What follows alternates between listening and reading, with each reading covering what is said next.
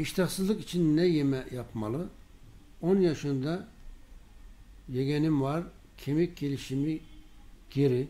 22 kilo. Tuvalet çok çok gidiyor. Tuvalete çok gidiyor. Ha. Şimdi iştahsızlık sorunu var. Ve kemik gelişimi.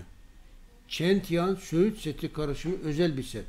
Hem iştahı düzelir hem kemikleri gelişir. Sorun yok. Tedavi ederiz.